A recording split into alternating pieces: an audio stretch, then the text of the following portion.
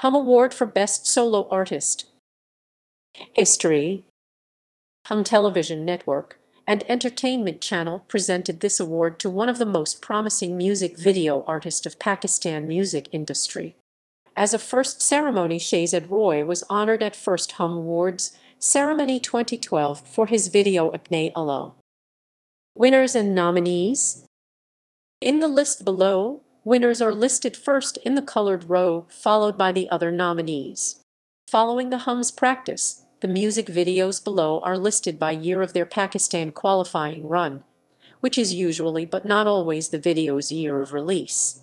As of the first ceremony, five singers were nominated for their music videos for this award. For the first ceremony, the eligibility period spanned full calendar years.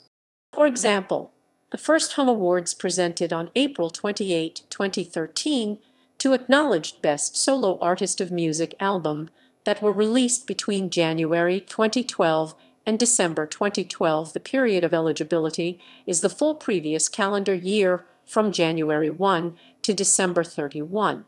Date and the award ceremony shows that the 2010 is the period from 2010 to 2020 10 years decade, while the year above winners and nominees shows that the video's year in which they were telecast and the figure in bracket shows the ceremony number, for example. An award ceremony is held for the dramas of its previous year. 2010's